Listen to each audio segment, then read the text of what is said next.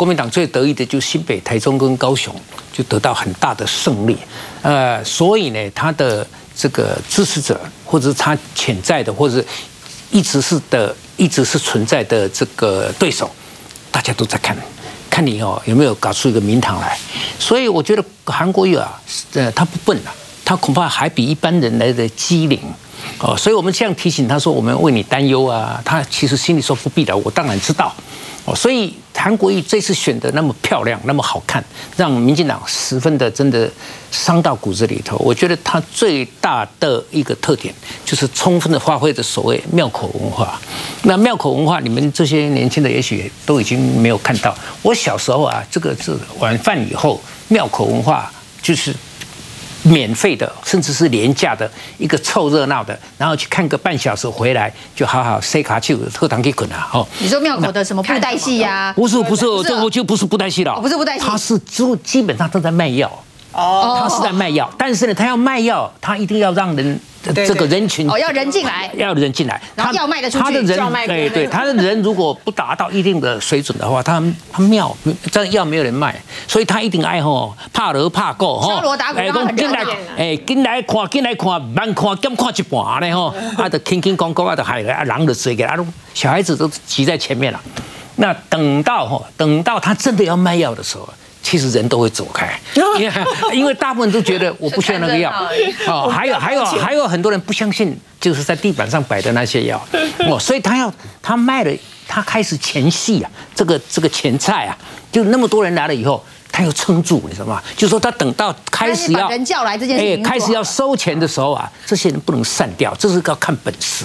所以，韩国选举的过程中啊，所谓这个爱情摩天轮啊，变成爱情的产业链啊，或者是说招商陪税啊，哦，或者是这个非常廉价的医美呀。这些其实都是前菜了，都是前菜。那他现在就说这些前菜算不算数？如果算数的话，他就要把它转变成里头正式要卖药的部分。那我是有一点怀疑，这些东西啊，赛马要转成正式的卖药，或者是这个这个医美的部分，他去看看了一次高雄长庚也没有下文了嘛。哈，所以这些都很不容易。现在好像已经有一些健检团自己来了啊，对，把这些都。都我我认为啊，都很不容易。那我们当然希望他成功，连陈其迈都不敢说不希望啊。哈，现在我们朝野有一种很诡异的气氛啊，就是政治就是零。经济就是一百，那也是鬼扯啦哦。因为什么？当你强调说我们两岸啊这些都可以摆下来啊，都可以不去谈，那个就是很政治哦。那个怎么是政治零呢？那个政治是很高的，大家不要忽悠。我跟你讲，习大大也在北京正在想，妈，你们这些哦台湾人哦靠这一套，竟然还糊弄的有那么多的选票哦，竟然没有政治的，通通搞经济，竟然还要。我来买你的东西，我还要放这个观光客到台湾去。徐大大说：“这还得了？这我有一天收复台湾的话，都来这一套的话，那我怎么统治台湾呢？”他刚刚听你的庙口文化，他应该有点懂了。我不，他们会轻易学。他徐大大也不会比韩国瑜笨啊！哦，那所以呢，他现在这个他晓得这个要撑住。哦，所以你看他的官船局局长就这一套很厉害，他花样真多哈！又琼瑶也来了，谁都来了哈，还有永浴爱河啊，哦，天作之合啊，这一连串都有，这个就是要撑住的场面。但是呢，韩国也知道，他一定要有主菜，而且主菜。这个短时间内不会有效果，但是一年两年，大家总要说，哎，你一定要有一个结果。其实不能等一两年哦，因为我觉得国民党这个二零二零的选情啊，有一大部分是要看韩国瑜的哦。如果韩国瑜哈还算可以交代的话，那国民党这口气可以一路延下去。如果韩国瑜到后来到一年下来都什么都没有的话，我觉得国民党要比韩国瑜更紧张啊。哦，所以他下去拜访这些这些企业。我认为哈，国巨啦、日月光啦、华邦电啦，据我了解，这三家公司的老板一点都不绿啊。这些公司，如果你要看看他们的这个背景啊，他们的政治倾向，我都认为他们还算甚至。那为什么选前都挺陈其迈的？不，我他这个就是刚才讲的嘛，这个刚才已经他已经讲了，因因为哈，不得不低头。不，因为民不与官斗嘛，民不与官斗，所以哈，他比如说他。就一试一试啊，投资几亿啊，也也无伤啊，也无妨啊，哦，所以这些我认为都是偏难的公司啊，所以韩国瑜简还是简从最简单的入手啦，哦，因为这个什么鲍鱼啊、鱼翅啊在后面的，所以呢，他他现在要去访问这三家，其实有护盘的味道，护盘？护盘。要顾顾盘也好，护盘也好，因为这三家都公开的已经挺陈其迈了嘛。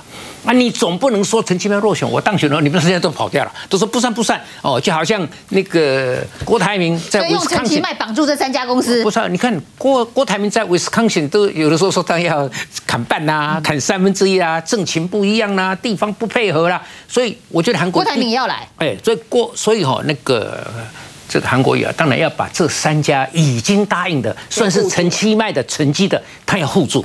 哇，这个各个造假的话就韩版的，你本身先有个本烫，哦，所以所以这三家不会不会那么北棒啦，他一定说我我我答应的哈，一定有，而且恐怕不会少，还会加码，而且再加再加一点让你好看，我我觉得都不排除。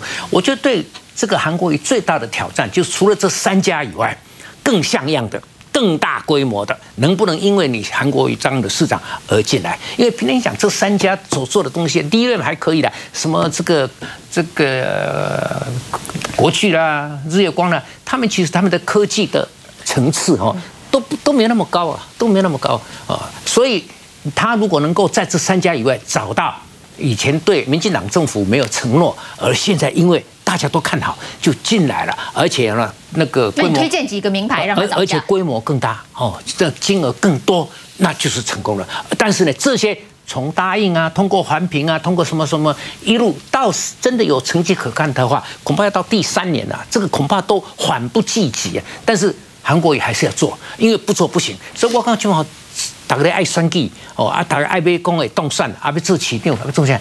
你看，你你你选钱啊。答应的、承诺的，而打得最最热闹的，你现在哈就在承受你当初把它搞得那么热闹的后果。我认为，我认为韩国瑜是很辛苦的，而且我看韩国瑜的。健康状态啊，并不是百分百。我觉得他还是要稍微休息一下哦，不要老婆说选举期间那个感冒可能还没有完全元气恢复。不是啊，他就要挑爱河。老婆说，所以你不是一天到晚都在爱河里头吗？像这样哦，就不要 double 爱河，你知道吗？这个身体不好。非洲猪瘟没有来，但是猪脑袋已经来了。就是 你你老讲我，我必须讲，因为很多网友啊，反正搞不清楚状况，反正躲在键盘里面随便发什么啊，这跟中国接轨。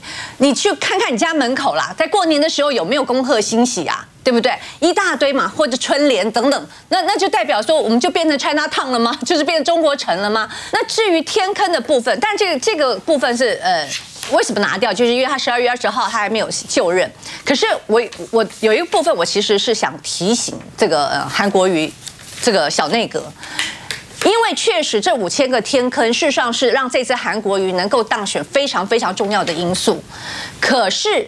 因为韩国瑜在他的内阁人事安排里面，他并没有做任何的清算跟斗争，也就是说，并没有把所有高雄市原来留下的这些呃人事，他全部都拔掉。他事实上留用了非常多的人，其中有一位现在担任高雄市的主秘，他原来是谁呢？他原来是高雄市的副市长，对不对？啊，叫叫杨明洲，我想这个丽娜一定非常清楚。公务局局长，对，公务局。你如果去看杨明洲他过去的整个资历，他全部都在公务部分。也就是说，如果说这五千个天坑哈，要要负责任的话，我认为杨明洲要负很大的责任。他从公务局的科长做到养工处，做到公务局副局长、公务局局长，然后变成那个副市长。一路上来，工程都是他在管呢，倒是要去提醒，因为当然现在看起来，好，整个工程的部分是由李四川，李四川他当然也是专家，好，他但骗不过他的法眼。可是过去五千个天坑这些执就执行的单位的重要的人士，目前都还在高雄市政府里面，所以我觉得这五千个天坑坑。虽然这这个新闻下架了，可是因为补坑本来就是非常复杂，有很多还有包工程，有的时候是是是你的这个这些厂商啊包下来之后，什么偷工减料啦，或者呢有你知道以前我们就听说这个，我想丽娜也非常熟悉。那有有一些厂商就故意呢啊就在下雨天之前去铺，好铺完了之后就说哎呀是下雨天，好就流失，我要再铺就。就是来来回回就是要赚钱嘛，可以追加预算。对对，就是要赚钱，所以，我我觉得这一点确实是未来。现在有很多人是鸡蛋里挑骨头，但是当这个整个五千个天坑，确实我认为是一个比较，就是未来人家去检验整个韩国瑜内阁的执行的效力，尤其这个天坑是在马路上，大家天天在在在跑在看的，是很容易去去挑出来的。那我觉得在硬体的公共工程的部分，因为过去的。这个政府就城局政府的时代实在做的太少。每一次我们在谈高雄的淹水的部分，我们一定会提一个数字。刚刚提到下水道，下水道台北市的下水道接水的接普及率是百分之九十六，哈，那高雄是多少？我跟大家报告，高雄大概百分之七十六，哈，那百分之七，你想想看，这个差距就很大。刚刚刚才说。呃，韩国瑜说会不会去去游泳到下水道游泳？我觉得如果下水道有有有点危险，那个代表你们可能 已经有水灾了啊。那所以你现在做这些接水接水率的工接接水管的工程，事实上你现在是有很多的成长的空间。那你大家记不记得，就是所有的县市首长刚刚讲说什么马英九啦，我记得还有什么涂醒哲，怎么一大堆，就是其实这个也是县市首长还还朱立伦，县市首长很好作秀的一个方式啦，哈，就是。呃，你就穿着青蛙装，然后下去看你的这个下水道是不是呃很很通畅，有没有清淤？那至于说有沙发床、摩托车跟床垫你知道为什么高雄真的有？为什么呢？就是因为他们上次淹水之后，他们就开始清嘛，结果说什么清到什么有沙发啦。脚踏车啦，什么乱七八糟，那就是人家代表说你到底有没有清淤？当然，你一个是清淤，另外一个就是下水道的普及率是绝对可以提升的。接管率对这个接管率是绝对可以提升的。我我认为它也可以，它也许不可能在一年之内全部把它铺好，但是呢，在预算上面，它它绝对可以提出来嘛，它绝对可以提出来，所以就是可以立刻答出一个一个成绩单。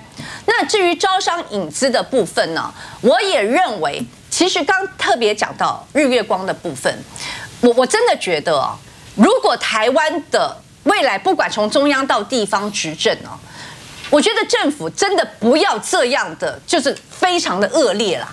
你不要拿着你的行政的权利，因为你太容易去处罚、处分、取缔等等，然后另外一边呢，又要要东要西呀、要什么都要了哈，要不到就可就就就取缔你，就开罚单；要得到就睁一只眼闭一只眼哈。那我认为，如果是这样的话，你你刚刚讲说，为什么这些企业当他什么要要呃要要开工啦，或是等等之类，他都要请陈其迈，他当然要陈要要请陈其迈，因为那个时候确实陈其迈的胜选的可能性比较大一点。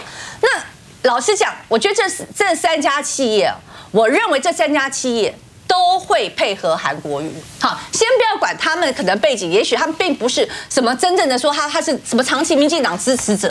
那事实上是真的很多，就是人在屋檐下不得不低头。还有呢，真的就是不民不与官斗。那我我莫名其妙吃你那么多罚单。日月光他虽然他最后他最后是是是被判有罪，就是有罪，可是。那个丽大也很清楚，他的罚款，他那时候是天价罚款，超过一亿的罚款。最高法院最后做成什么决议？高雄市要还给人家，哎，他说你罚的不对。那那我请问你，你一家企业为什么最后最后最高行政法院会判到说你罚款，让你把一亿多的罚款退回给这家企业？所以你是不是有滥用你的公权力，然后跟企业予取予求的问题？所以我觉得执法当然要执法，但是执法。不要因为你自己拿了行政权力，然后你就觉得说你就可以变成说要逼的这个企业要做一个政治性的选择，或选举的时候你就要去押宝，这是不对的。所以我觉得台国瑜只要开大门走大路，我认为企业会愿意到到高雄去投资的啦。